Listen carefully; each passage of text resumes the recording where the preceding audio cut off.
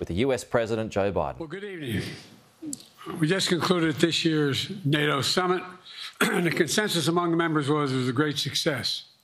It's especially momentous because it represented the 75th year, of the most important military defense alliance in the world's history of the world. We should never forget that NATO grew out of the wreckage of World War II, the most destructive war in history. The idea was to create an alliance of free and democratic nations that would commit themselves to a compact of collective defense. Standing together, they knew we'd all be safer. An attack on one would be treated as an attack on all. And it's worked because a would be aggressor knows if they attack one of us, they'll be attacked by all of us. Sending that message is the best way to deter aggression and prevent wars in the first place. For those who thought NATO's time had passed, they got a rude awakening when Putin invaded Ukraine. Some of the oldest and deepest fears in Europe roared back to life because once again, a murderous madman was on the march. But this time, no one cowered in appeasement, especially the United States.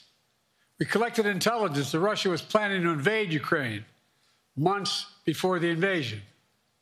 I, did, I directed the intelligence community to be a significant amount of intelligence be declassified so I could start building an international coalition to oppose the invasion. Then in February, some of you remember, I warned the world that the invasion was imminent. I rallied a coalition of 50 nations from Europe to Asia to help Ukraine defend itself. My foreign policy, many foreign policy experts thought as Putin amassed Russian forces just 100 miles north of Kyiv, the capital of Ukraine, but he thought, he, Putin thought it was the mother home of Russia. The capital would fall in less than a week.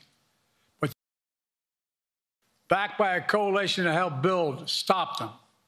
Today, Ukrainian people, backed by a coalition to help build, stopped them. Today, Kyiv still stands, and NATO stands stronger than it has ever been. During the week of this summit, several heads of states made it a point in their statements to thank the United States and to thank me personally for all that NATO has achieved. NATO is not only stronger, NATO is bigger because we led the charge to bring in Finland and Sweden into the alliance. And it makes a gigantic difference. Excuse me. Meanwhile, my predecessor has made it clear he has no commitment to NATO. He's made it clear that he would feel no obligation to honor Article 5. He's already told Putin, and I quote, do whatever the hell you want. In fact, the day after Putin invaded Ukraine, here's what he said it was genius. It was wonderful. Some of you forgot that, but that's exactly what he said. But I made it clear a strong NATO is essential to American security. And I believe the obligation of Article 5 is sacred. And I would remind all Americans Article 5 is invoked only once in NATO's long history, and that was to defend America after 9 11.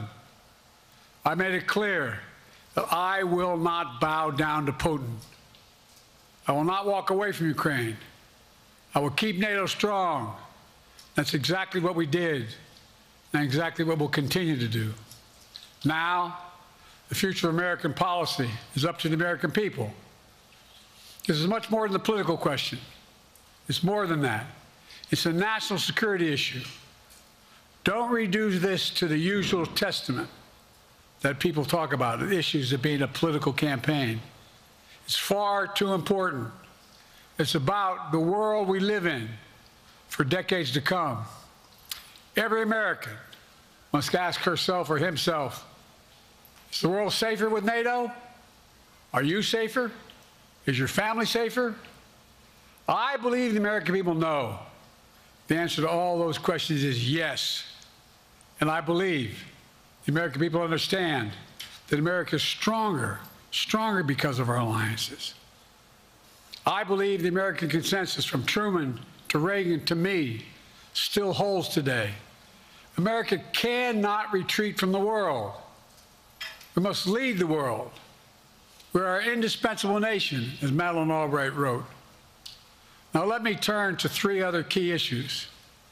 Just this morning, we had a great economic report showing inflation is down. Overall prices fell last month. Core inflation is the lowest it's been in three years.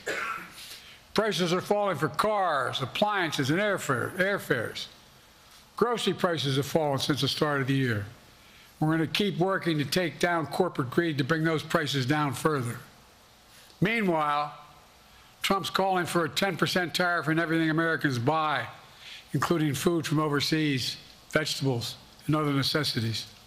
And economists tell us that that would cost the average American working family another $2,500 a year. It's a tax of $2,500 a year. Second, our efforts to secure the border, southern border, is working. After Trump killed the bipartisan effort to secure the border, Republicans and Democrats had worked on, because he thought it would benefit me and make him a loser, Republicans walked away. So I took executive action last month.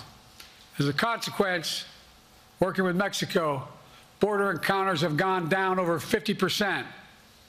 The current level is lower today than when Trump left office. Third, for months, the United States has been working to secure a ceasefire in Gaza, to bring the hostages home, to create a path for peace and stability in the Middle East. Six weeks ago, I laid out a detailed plan in writing. Was endorsed by the UN Security Council, the G7. That framework is now agreed on by both Israel and Hamas. So I sent my team to the region to hammer out the details. These are difficult, complex issues. There's still gaps to close. We're making progress. The trend is positive. And I'm determined to get this deal done and bring an end to this war, which should end now. Let me conclude where I began. We're the United States of America. We are the indispensable nation. Our leadership matters. Our partnerships matter. This moment matters. We must rise to meet it.